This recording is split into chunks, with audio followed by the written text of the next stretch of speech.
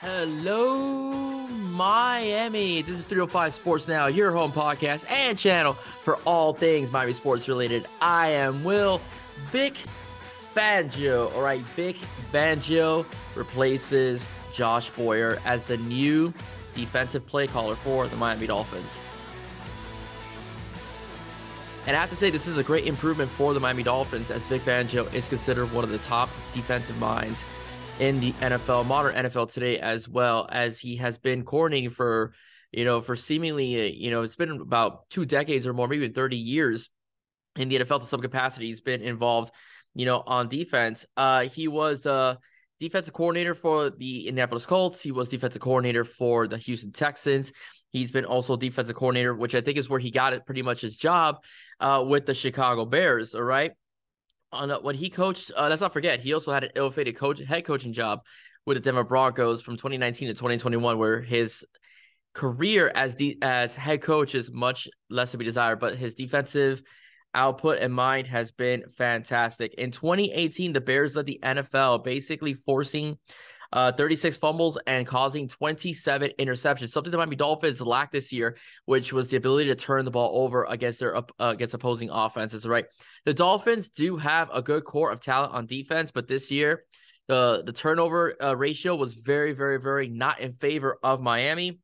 Vic is expected to uh, to change that. As of recently, in a very quiet demeanor, uh, Vic Fangio was the def- defensive consultant for the Philadelphia Eagles.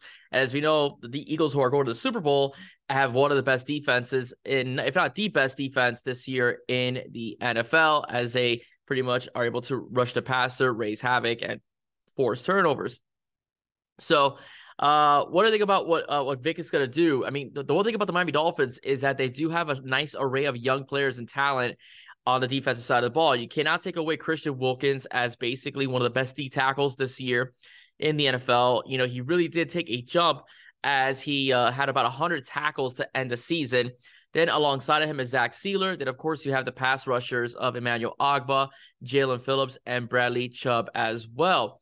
In the secondary, you know, you have Xavier Howard, who took a dip this year, but I'm still, I'm still arguing that he may have been hobbled with injuries. But it, we'll probably see so a couple new key acquisitions on defense in the secondary position next year because uh, I don't expect uh, I don't expect uh, Byron Jones to be back, you know. But um, so I, I, do think they will be a replacement. He, however, he will get Nik Needham back, you know, and he will have Kader Kohou to play with as well. Uh, and Jevon Holland is a stud safety, so there'll be a lot for Vic Fangio to put together, you know, this season when it comes to when it comes to Dolphins. Dolphins were able to force turnovers the first couple years that Brian Flores was the head coach of the Dolphins. But with the first year of Mike McDaniel, scored a lot of points on offense, but unable to turn over defenses this year on a regular basis. Getting to getting to the quarterback, you know, on occasion was a thing. You know, the Dolphin pass rush was pretty decent this year, uh, but as far as turning quarterbacks over, forcing interceptions, the Dolphins were were not very good. Last game they were against Buffalo, so I'm curious to see